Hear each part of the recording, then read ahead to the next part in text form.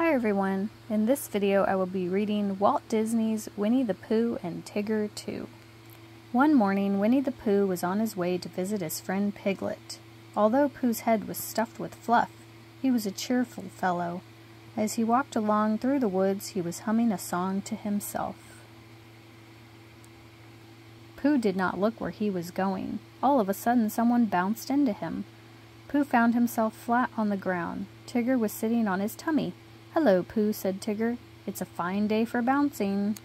Tigger helped Pooh get up. Thank you, Tigger, said Pooh. I was just thinking it's a fine day for going to visit Piglet. I was on my way to see Rabbit, said Tigger, but I will come along with you, and Tigger bounced away. Tigger bounced on ahead of Pooh. He bounced so fast, and he bounced so far, that he bounced right into Piglet. Tigger, cried Piglet, you scared me. I'm sorry, said Tigger. He helped Piglet get up. Now I'm off to see Rabbit, said Tigger. Why don't you and Pooh come with me? Away he bounced again. Tigger bounced into Rabbit's garden. Rabbit was busy counting his rabbits. Suddenly, Tigger bounced on top of him. Hello there, Rabbit, said Tigger. Tigger, you're a pest, cried Rabbit. When Pooh and Piglet reached the garden, they helped Rabbit to his feet. Rabbit was very angry at Tigger.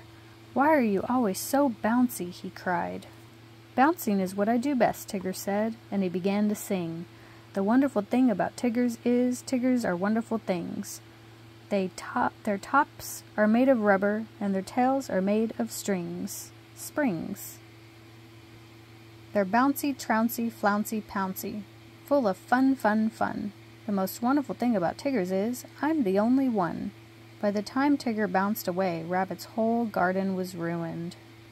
Later that day, Rabbit came up with a splendid idea for unbouncing Tigger. He told Pooh and Piglet about it. We will take him on a long explore and leave him in the woods, said Rabbit. When we go back to get him next morning, Tigger will not be so bouncy. That is a splendid idea, said Piglet. What do you think, Pooh? But Pooh was sitting in a cozy chair and he had fallen fast asleep.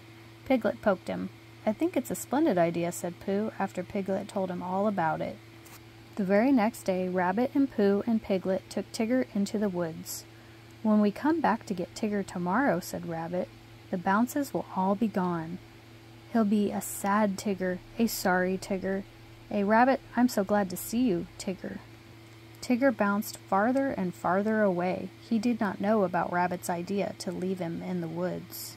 The three friends found a hollow log. Quick, said Rabbit, hide inside. They climbed into the log.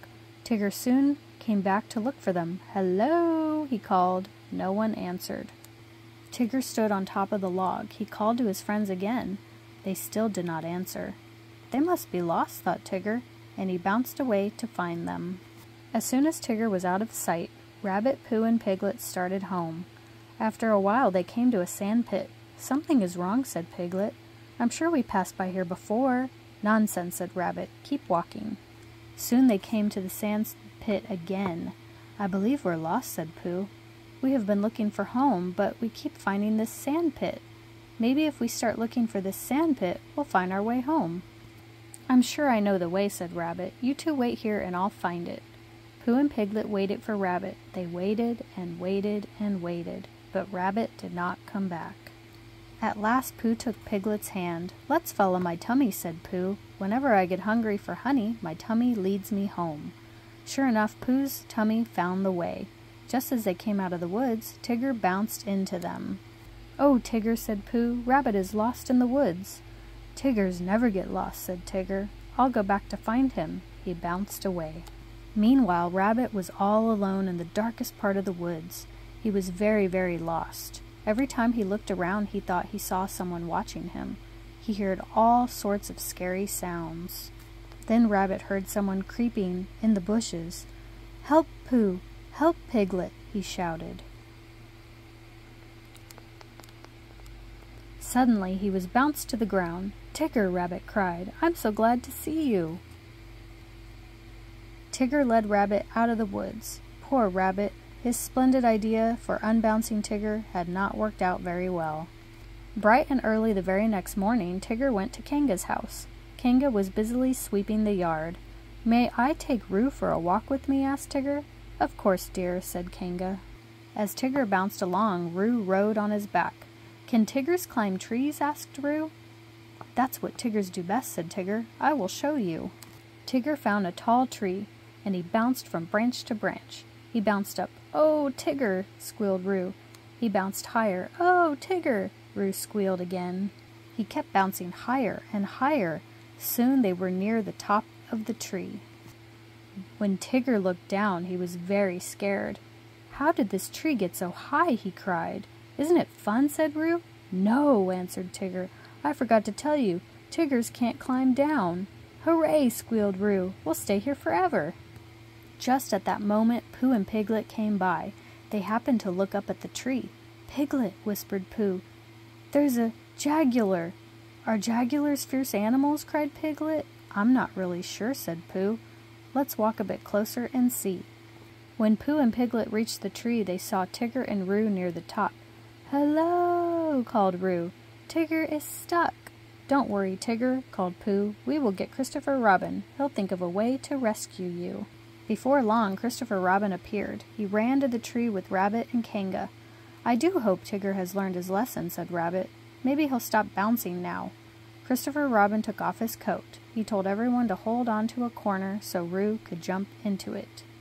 After Roo came tumbling down, Christopher Robin called up to Tigger. Now it's your turn to jump, he said. Tiggers don't jump, they bounce, said Tigger. But if I ever get down from here, I promise never to bounce again. Did you all hear that? cried Rabbit. He promised to stop bouncing.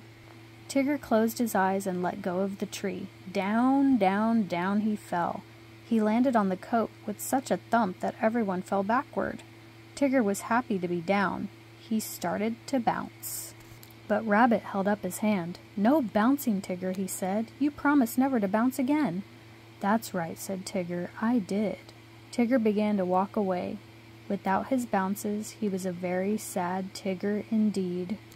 Roo watched his unhappy friend. I like the old bouncy Tigger better, he said. So do I, dear, said Kanga. So do I, said Pooh and Piglet. Everyone looked at Rabbit. Well, said Rabbit, so do I. I guess. All of a sudden, Tigger came back bouncing again. Do you really mean it, Rabbit? he cried. May I have my bounces back? Yes, said Rabbit, I really mean it. Hooray, said Tigger, and off he bounced happy to be his bouncy old self again. The end. Thank you for watching.